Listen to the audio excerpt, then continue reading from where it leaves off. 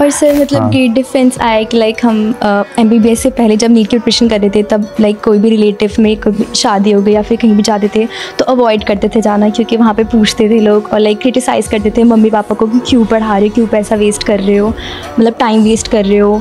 आप उनकी लड़की की देखो शादी हो गई मतलब जैसे रूबी का केस है थोड़ा बहुत मेरा भी वैसे ही है कि हमारे यहाँ उतना ज़्यादा सपोर्ट नहीं करते लड़कियों को पढ़ाना। अ, तो मतलब लेकिन मेरे मम्मी पापा स्टार्टिंग से ही मेरे को मेरी बहन को पढ़ाते हैं? ही। हो हाँ? मैं दिल्ली से ही हूँ लेकिन मतलब मेरा ओरिजिन बिहार से है।